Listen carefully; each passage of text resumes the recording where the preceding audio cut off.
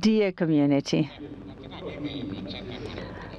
I have my cues here, but with the participants, we're going to have a conversation on the decision made by Oscar and which was communicated through different means to finish this stage as LACNIC CEO. We're going to speak with them about the transition and how the organization is prepared to carry out the leadership transition from Oscar to Ernesto. So the first question is addressed at Oscar. Many of you have worked for many places and then left those jobs for several reasons or decisions. So my question is that the community would like to know more about your decision and what are the factors that led you to think that this was the adequate moment to do the leadership transition? Thank you, and good morning, everyone. One never knows when the best moment is to do something. These decisions are complex, are far more complex compared to when someone in the organization resigns, because this has a stronger impact. This is because this, uh, there are relationships to other organizations, the position of the CEO. So one tries to do things aware of all those relationships. And I was never certain about which would be the most adequate moment. And with the Monday news, I have the impression and satisfaction that I think we're doing things in an organized way, and this was the appropriate moment. So the elements we took into account were basically that my family is living in Mexico now. My children are living in Mexico. We had already had uh, quite quite an interesting life stage in Uruguay, but now my wife and myself decided to follow them soon to Mexico because we know we uh, want to be with them. And I had the pleasure of being a CEO since a very early age. I have been 27 years as CEO of an organization. This is quite uh, burdensome. I needed to have like mental holidays.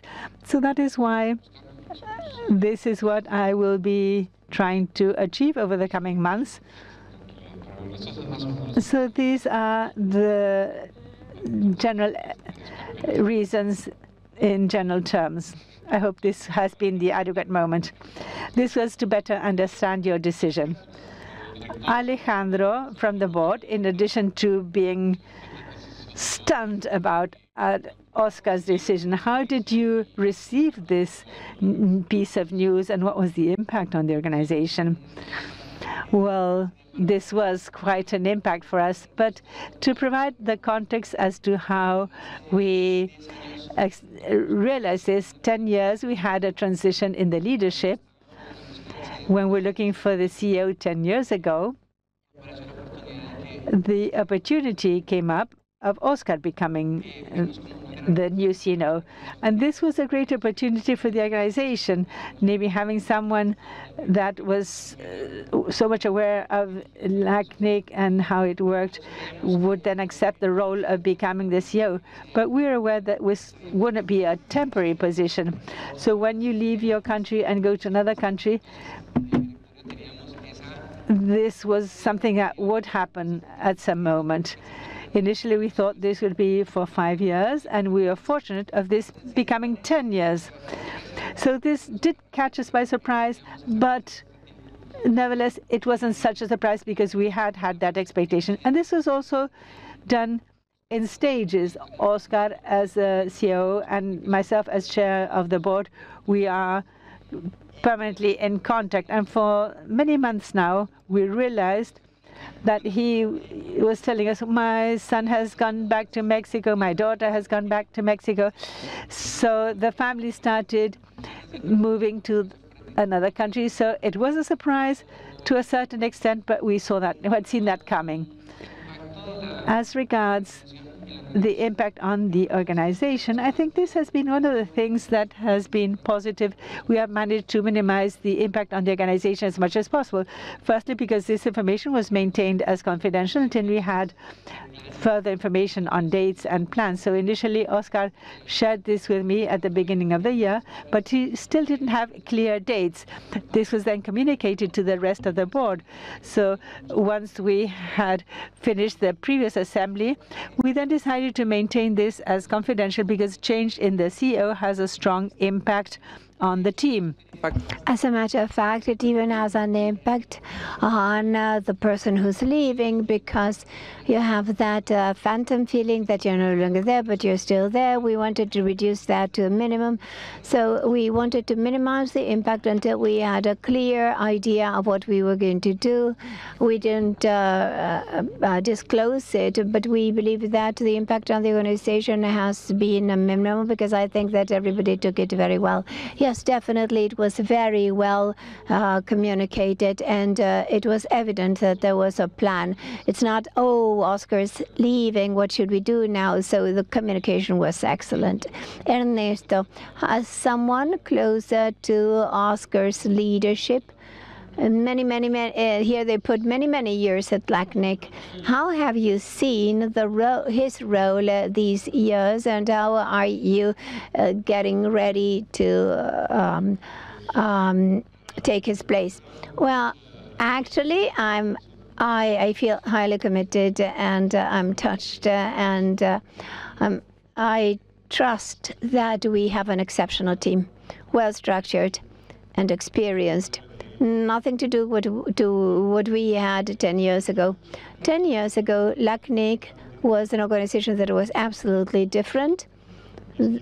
Well, we were 10 years younger, but 10 years with less experience, and the team was not fully uh, formed uh, because of many several things. There were people who had left at the last moment, and Oscar, when Oscar took over, he saw what we were, he saw our potential, and uh, with his vision of uh, the company, of the organization, he brought us to where we stand. Ten years ago, LACNIC was an entity, um, uh, uh, as a young entity, complaining about our parents, not really, with a lot of creativity and a lot of energy, but with uh, little with uh, our, our goals were not clear. Today, we are a young entity too, with uh, uh, cons sound, consolidated with clear goals. We know what we have to do, and we know what we have to to do is uh, providing services to a community. So Oscar's work has been fabulous. Yes, definitely, you notice it. I've never ever heard a complaint at LACNIC. Well, no, none, no complaints. I mean, those things that you will hear from our organization that you say, well, uh, uh, well, because really everything has always been so positive. Oscar, you mentioned in previous messages of LACNIC that you worked this out in an orderly manner so you wouldn't depend on a single person. How have you structured the process and what are the key priorities that you identified in this transition? Yes, maybe for the rest of the public, you feel the transition uh, uh, starting this uh, uh initial things. But I think that it started when I took over as the CEO 10 years ago. Um, I transmitted the need to have a transition plan or succession plan if necessary. And if the board was interesting in the uh, profiles that I had developed and identified and developed internal profiles, that was a possibility that uh, the board had. And I was saying that this started as soon as I took over because I always had a clear idea that you can't be uh, indispensable uh, in such a position. So at the time, we uh, we saw that it was necessary to provide support to uh, key uh, positions, especially in the case of the CEO. This we shared with the CEO how we were advancing in the development of those uh, potential candidates under strict confidentiality. Of course, the people in those lists are not told that they're being considered for these leadership positions, but they get uh, they we uh, help develop in them uh, those skills to reduce that gap. So it was a seven to eight year process that we were uh, formally doing that, but it wasn't the only process. In general terms, we had uh, several key elements that uh, made us grow. Some of those elements were mentioned by Ernesto because not only did we uh, grow as staff, but also at the board.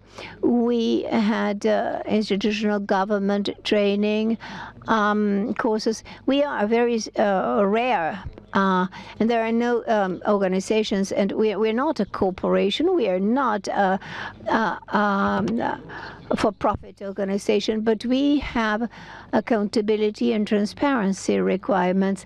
We have a board with a very complex mechanism for elections, and all this requires uh, a balance and counterbalance because we are exposed to a community that requires services and a proper performance, not just of uh, the our operations and services, but all the collaboration spaces. So it was a very lengthy process. What you see is just the tip of the iceberg, but if um, we had made any mistakes or something foolish in the process, uh, wouldn't even have uh, we wouldn't even have had uh, a succession plan. That's a risk always. But I think that the results, the growth of the staff and the board, the outputs measuring the satisfaction for um, uh, uh, the systems and the events and the financial issues have been very positive, and the board decided to follow that same path.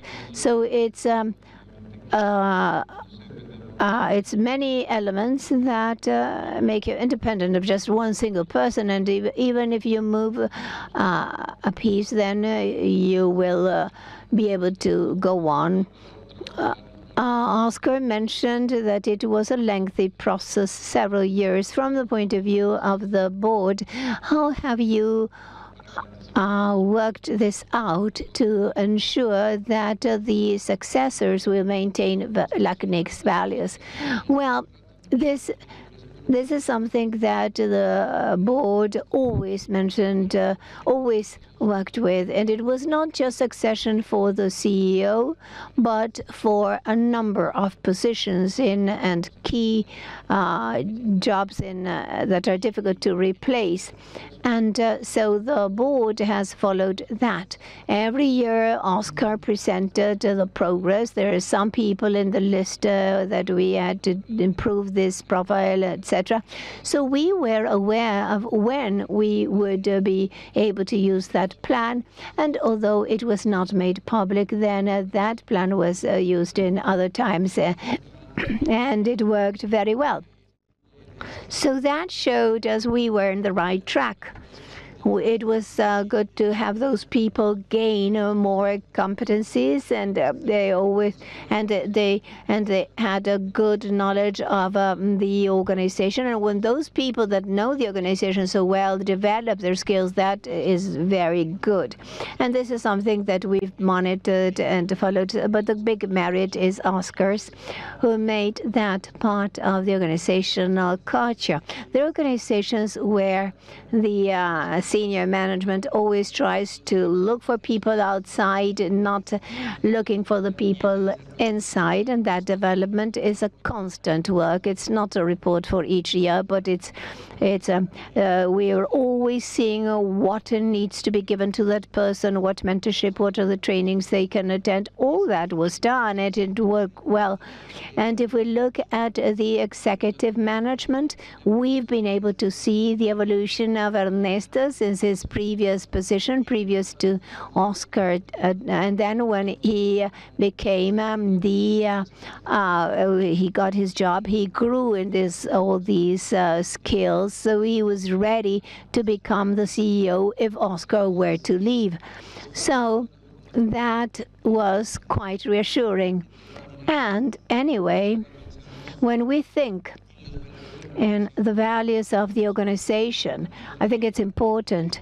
There were many factors that needed to be analyzed in this decision, but for us, the fact that the uh, organization would have a continuity in culture and values, that was very important. Knowing the surroundings of LACNIC also did.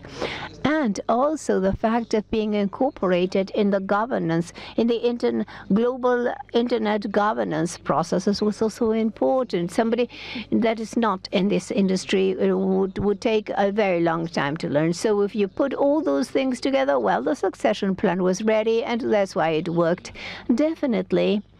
It's an organization that is complex because of everything you mentioned.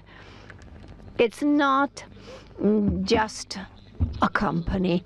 And it would be good uh, to uh, get the patent of the system so the other companies may have these transitions.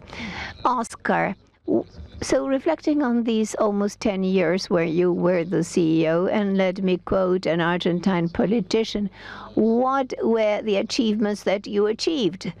The most significant achievements you achieved? Well, yes. I, I hadn't prepared this because it's difficult to talk about your achievements. But uh, anyway, I think that it's been working highly committed for the common good. That is an underlying achievement that uh, permeates to the rest of the organization because if it hadn't been like that, if we are not aligned in the process, people have different expectations of what people can get. Well, uh, of course, uh, aside from uh, the salary, people have additional expectations when they speak of the role of the organization. So that's an important thing, and it uh, makes it easier to get other achievements. The, the key one is to make this professional that is recognized by others, and I think that ultimately this is uh, so it's generating a, a, number of documents of uh, repeatable processes that may ensure that we are doing things the way they're expected to be done. Not only uh, as an operational way, we have a certification in processes that uh, was there before I even joined, but also at the board.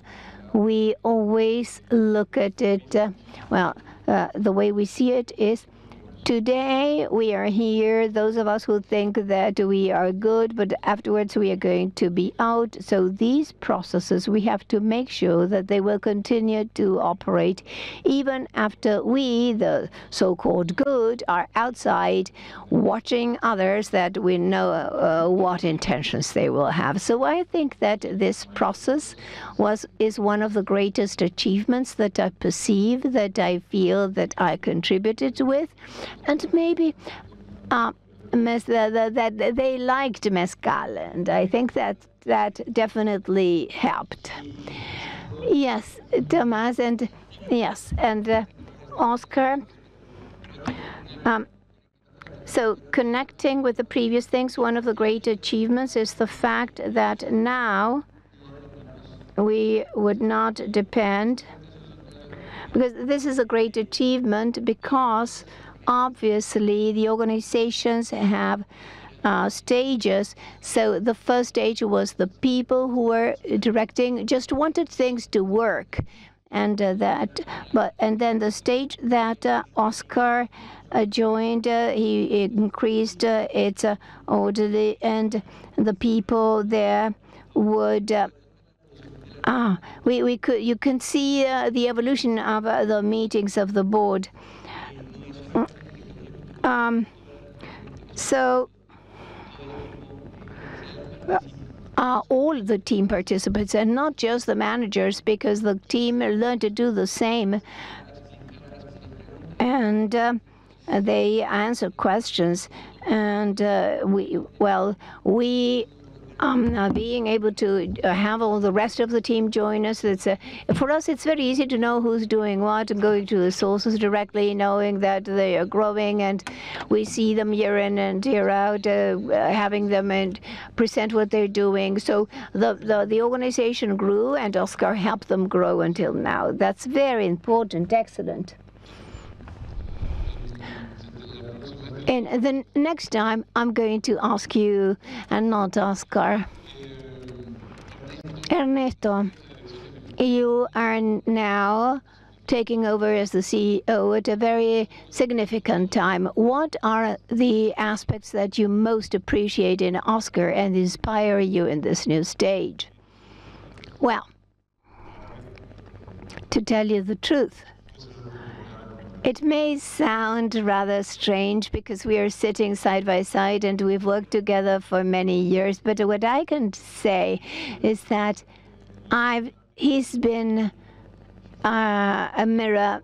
His professionalism, the way he anticipates uh, the topics, and uh, the way he helps us think, not uh, based on uh, pre-concepts, but identifying the very roots of, of the problems and use that for building solutions and not to uh, just get fixed with the projects that we like, but to really think of whether that's what we need for a community to continue to grow and develop. If with those actions and projects, indeed, we are meeting the challenges of our community. Also, LACNIC is an organization that is dedicated to its community and has been so always. We have gained a lot, and that is part of the topics that I recognize in our daily work.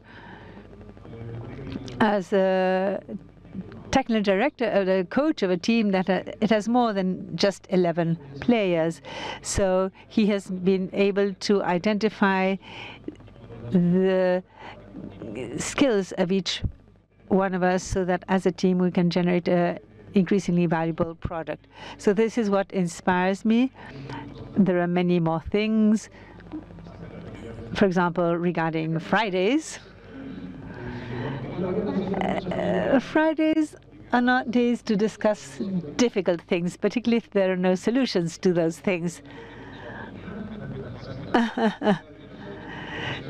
so so these are jokes because internally we always make jokes about that and we joke around with that and this is so Fridays are so easygoing. Alejandro, to close this session then. Um, what does this transition involve to LACNIC, and what do you think is the important message to convey to the community regarding the future of the organization and the team? So thinking with uh, of Ernesto as a CEO, well, uh, connecting to what Ernesto was just saying, LACNIC went through a stage of initial growth it was a bit disorganized, but we were growing. Then we had the stage that we about to close here, which is a stage of maturity. The organization made mature, reached a level of excellence. We have procedures. And the next stage is a stage of stability.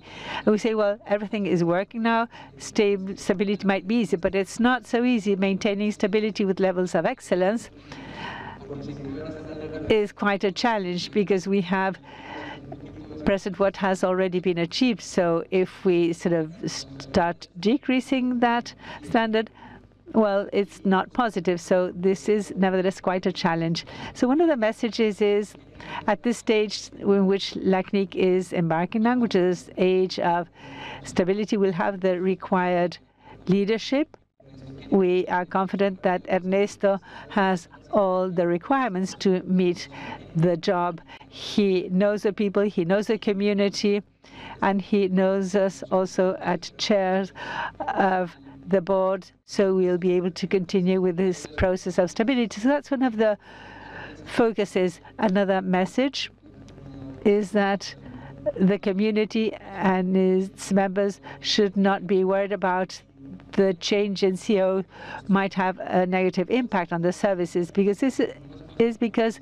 things have been organized in such a way that if we have leadership that is focused on maintaining that stability, things will continue to work well. So that type of leadership will continue not only at the level of the board and the top levels, but also we have leaders at all the different levels. So we're very happy with the staff we have now. The staff knows what the job is about, and they really are excellent in all the work they do. We are confident that they will continue working correctly. So we still have a few minutes to open the floor, and I will be rather bad in this sense, rather mean in this sense. So this is to prevent this becoming a sea of tears. It's not an in memoriam for Oscar Robles. He's still alive and well. He's just changing from one country to another, and he's now uh, changing, leaving his position as a CEO. So if you have any direct questions to each of the three members of the panel, and with no tears, please.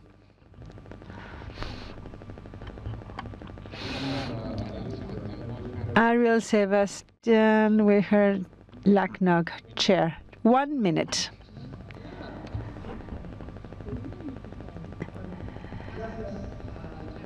I'd like to thank the three of them who are over here. Thank you for the communication. So what does it feel like? Uh, you are wearing a suit. Um, you cannot just wear sandals and shorts and a t-shirt. I'm a staff member of the American Registry for Internet Numbers, ARIN. And I just want to say a few words. Um, Oscar, you know, I wanted to thank you on behalf of the ARIN organization for the many years of friendship and coordination over these past 10 years. It's truly been wonderful, and you have our deep appreciation. And for Ernesto, uh, Ernesto, ARIN has known you for many years, many, many years as a friend, and we welcome you as the CEO of LACNIC and uh, our continued friendship uh, and coordination uh, with you and LACNIC for many years to come. I would like to thank you both. I'd like to thank the LACNIC board, the LACNIC staff, and the LACNIC community we recognize your strength and we value our continued friendship. Much appreciated. Thanks, Richard. Thank you. Thank you.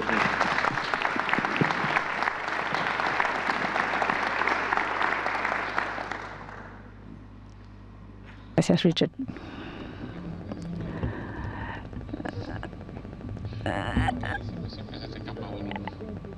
So, Nacho, it's your turn. Okay, we don't want to start crying.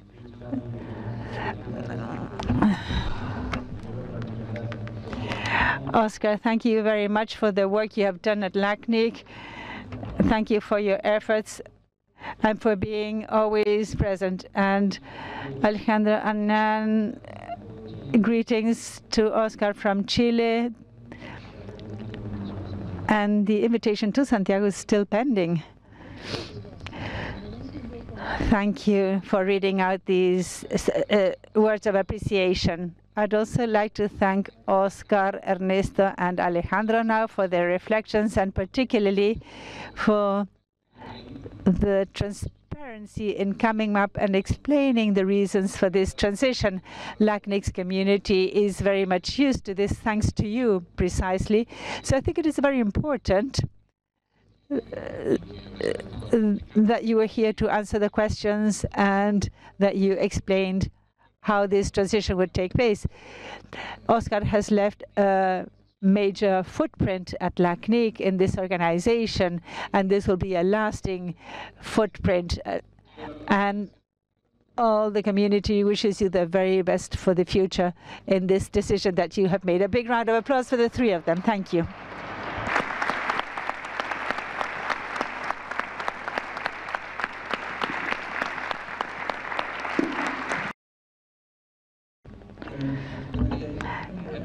So before we say goodbye, Oscar, we don't want to have the sea of tears, but we do wish to tell you that the staff and the board and the community states that when the leader leaves, uh, he is not indispensable, but you have left a footprint. Although you will not be here, your work and your legacy will be visible in all the procedures, in all the individuals. So we are most grateful for all the time you dedicated to LACNIC as a CEO and seriously as member of the board, because like Thomas said, we will be remembering you for many years to go. And we have a memento to give you.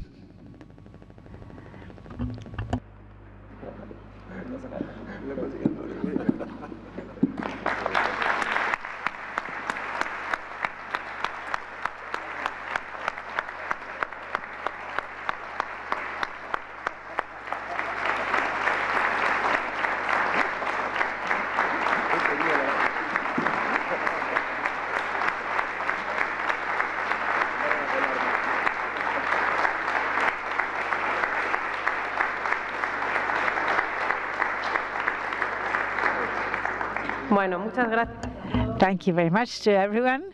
We uh, may I, may I say something very briefly, very briefly.